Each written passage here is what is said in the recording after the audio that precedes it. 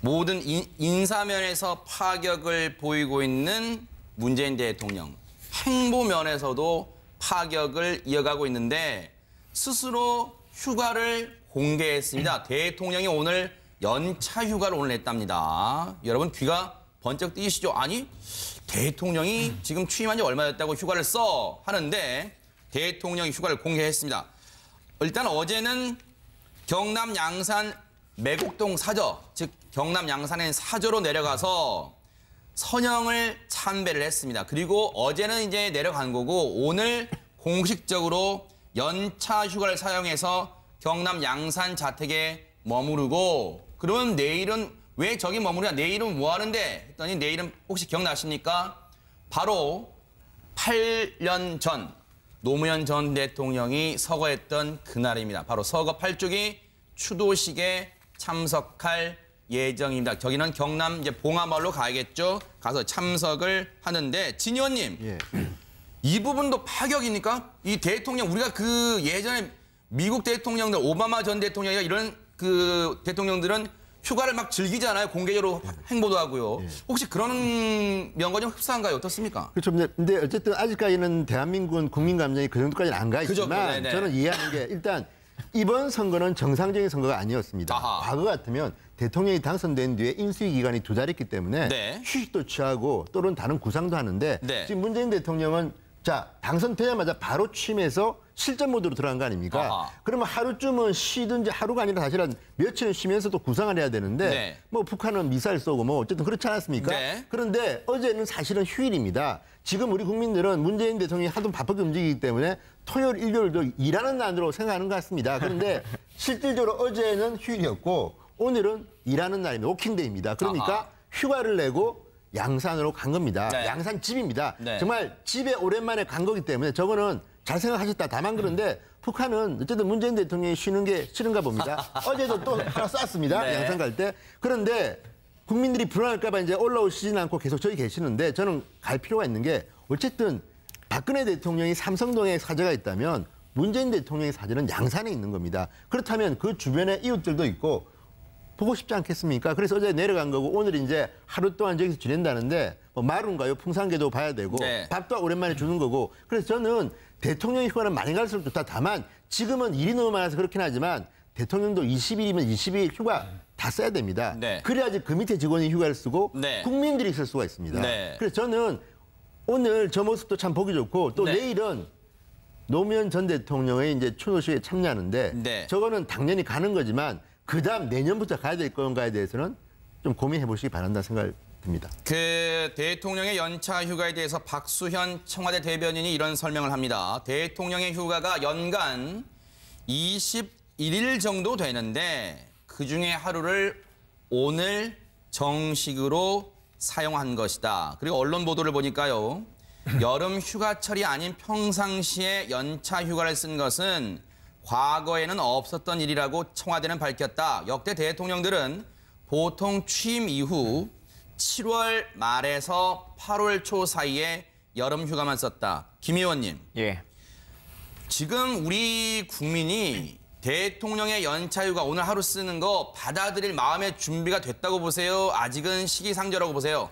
어, 많은 국민, 국민들이 기억하시는 것처럼 박근혜 전 대통령도 뭐 저도의 추억이니 뭐 이렇게 해서 휴가를 보냈던 것을 공개하기도 했었습니다. 네. 그리고 실제 말씀 주신 것처럼 7월, 8월에 여름 휴가를 가기도 하고 아니면 1월쯤에 신년 구상을 위한 휴가들을 보내기도 했었는데요. 네. 문제는 그런 정기적인 정례적인 휴가 외에 네. 월차라고 하는 거, 연차라고 하는 형식을 빌어서 네. 실제 어, 시작을 하신 건데요. 네. 어, 물론 대통령이 하루 업무를 그냥 보지 않고 국민들에게 말하지 않고도 쉬실 수 있습니다. 그동안은 그래 왔을 겁니다. 네. 근데 이제는 정상화 시키겠다. 그리고 내가 일하는 것과 일하지 않는 것에 대해서 명확하게 말하는 것이고 네. 지난번에 후보 시절부터 매번 말씀하셨습니다만 우리가 이 휴가라고 하는 것이 법에 정해져 있지만 네. 제대로 쓰지 못하고 있는 거지 않습니까? 네. 연차 월차도 그렇습니다만 뭐 여러 가지 휴가들에 대해서요. 근데 네. 이런 것들에 대해서도 대통령이 먼저 솔선수범해서 네. 공식화하겠다라고 하는 것을 보여주는 것이고 네. 뭐 NSC가 열렸으니까 아까 말씀하신 북한에서 미사일을 쏟다 손 치더라도 네. 안보실장이 그것을 규제하고 또 보고를 정상적으로 받으면 네. 큰 문제 없이 어, 국가가 시스템에 의해서 돌아갈 수 있다라고 하는 모습들도 네. 보여주시는 거라고 생각합니다. 오늘이 취임 13일째입니다. 어제는 취임 12일이었고 취임 12일 만에 경남 양산 사저로 해- 사저로 갔는데 오늘은 취임 13일째고요. 그런데 어제 갔는데 주민분들이 어떻게 알았는지 김 부장님 예. 대통령님 나와주세요 외쳤더니 진짜로 나왔다면서요 대통령이. 네, 나와주세요. 주민들이 찾아와가지고 네. 나와주세요 해가지고 대통령이 직접 나와가지고 네. 밖에 나와서 기념 촬영도 해주고. 이- 그 셀카 찍는 건또 트레이드 마크잖아요. 네. 예, 예, 그렇죠.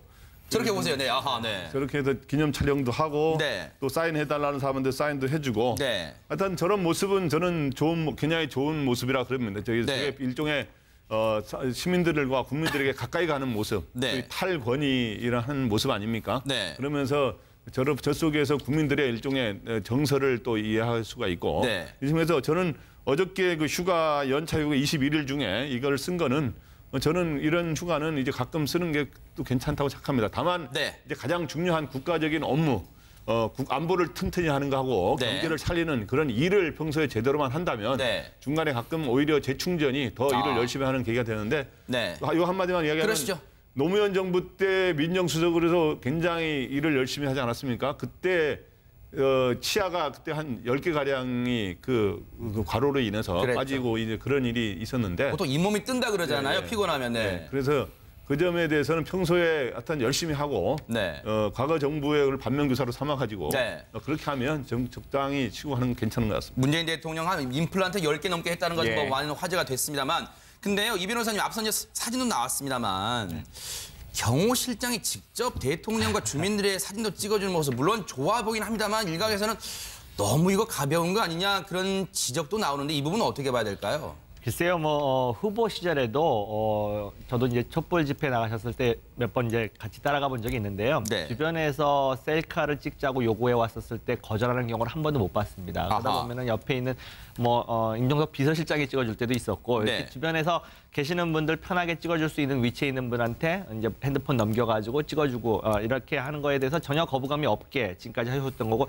특별히 대통령이 되신 이후에 보이는 모습은 절대 아닌 거고요. 네. 아, 평소에도 저렇게 보- 저런 모습을 보였고 다만 어, 지금 경호의 문제에 대해서는 여러 이제 우려가 나오는 건 사실입니다. 네. 너무나 문턱을 낮아진 어, 대통령에 접근할 수 있는 부분이 너무 이제 문턱이 낮아지다 보니까 혹시라도 하지만 어, 이제 경호 담당하는 분들하고 뭐 깊은 대화는 못 해봤습니다만 이야기를 해보면 다 대비를 하고 있고요. 아. 사실 눈에 보이는 경호보다 더 중요한 것이 눈에 보이지 않는 경호인데 아하. 그 부분만큼은 철두철미하게 하고 있을 거라고 저는 굳게 믿고 있습니다. 근데 진 의원님 그 이제 경호 얘기 나온 김에 이제 그 얘기를 해보면요. 그동안 이제 저런 모습 보면서 그 많은 시청자분들이나 국민분들이 자신도 모르게 흐뭇한 미소가 지어진다고 하더라고요. 그런데 우리가 그동안 역대 대통령들을 보면서 너무 비정상적인 모습에 익숙하다 보니까 오히려 저 모습이 정상인데 저걸 생소하게 느끼는 거 아니냐 그런 말씀하신 분도 계시더라고요. 그렇죠. 그러니까 문재인 대통령의 뭐 스타일이나 나이나 또는 중요한 거는 부인입니다. 아하. 김정숙 기사인데 이 스타일을 보면 그동안 우리가 TV나 영화에서 보던 대통령의 모습과 굉장히 닮아 있습니다. 아. 그러니까 과거에 김대중, 김영삼 대통령은 연세가 좀 드셨고 또 네. 그분들 스타일은 조금 우리가 그런 영화에서 보는 그런 스타일도 아니고 네. 또 박근혜 전 대통령은 결혼을 하지 않으셨습니다. 그러니까 조금 다르기 때문에 정말 당연한 모습을 지금 보고 있는 겁니다. 아하. 특히 저는 김정숙 여사의 모습이 중요한데 예를 들어서 첫 출근하는 날 뭐 굉장히 그 함부로 입기 옷 입기 힘든 색깔입니다. 빨간 옷을 입고 어쨌든 아, 네. 5m를 뛰어가서 네. 남편 바지 마- 만지는 이런 모습들은요 정말 평범한 집에서 보는 우리 어머니들의 모습입니다. 아하. 그리고 뭐 자갈치 시장 가서 남편은 뭐 가방 들고 뭐 이렇게 쇼핑을 하다가 갑자기 뛰어가서 남편 밀치고 먼게뭐 이거 다, 다 주세요. 이런 모습들은요. 네. 그건 연출한다고 될 수 있는 것들이 아닙니다. 이런 네. 모습을 보고 국민들이 좋아하는 거고 다만 문제는 지금 경호 문제는 정말 중요한 게 네. 광화문 사무실도 있고 다 좋은데 네. 이렇게 이제 경호에 허술을 하면 언젠가는 문제가 생길 수도 있기 때문에 아하. 이 문제에 대해서는 조금 더 신경 을 써야겠다. 네. 그리고 또 하나는 이제 우리 국민들도 이런 모습이 익숙해져야 됩니다. 아하, 네. 그리고 너무 대통령이 부담스러워할 일은 가능하면 좀, 좀 자제하는 게 필요하지 않겠나. 왜냐하면 네. 지금은 제가 볼 때는 한 6개월 동안은 저 정도 모습은 좀 필요할 것 같습니다. 네. 대통령이 국민들한테 어쨌든 간에 가까워지는 거고 그렇지만 네. 대통령의 주된 임무는 일 아니겠습니까? 네. 그러면 국민들도 이제 세 칸은 조금 참자. 왜냐하면 그 시간에 일하셔야 된다. 네. 이런 생각을 좀 하셨으면 좋겠습니다. 그 오늘 언론들에 지금 양산 내려갔는데 대통령이요 여러 가지 사진도 공개됐습니다만 대통령의 이 반려견 마루 마루라고 있습니다. 이 마루를 쓰다듬는 사진도 지금 공개가 돼서 화제가 되고 있다고 하는데 어, 대통령 저- 바로 저 사진입니다. 어, 대통령이 지금 양산 휴가 그리고 내일 경남 봉하마을로 가서 이제 노무현 전 대통령 서거 8주기 추도식에 참석할 텐데 휴가 마치고 상경할 때 자신이 쓰던 물품을 챙기는 동시에 사절을 지키던 풍산계 마루도 데려올 것으로 알려졌다 하는데 지난 4월 동아일보 인터뷰 내용 하나 전해드리고 김 의원님 말씀 들어볼게요. 그때 기자가 물어봅니다.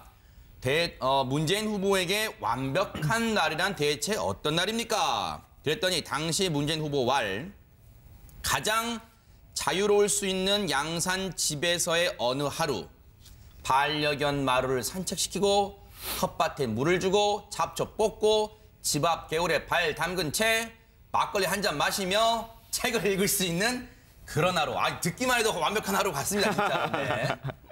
마루 마루에 대한 어떤 저 사랑이 있다 보니까 저도 이번에 기사 통해 알았는데 이 우리 대한민국의 반려견 인구가 천만이, 넘- 천만이 넘는데요. 예. 반려견 인구한테는 정말 좀 의미가 있는 행보 아닌가 그런 생각도 해봅니다.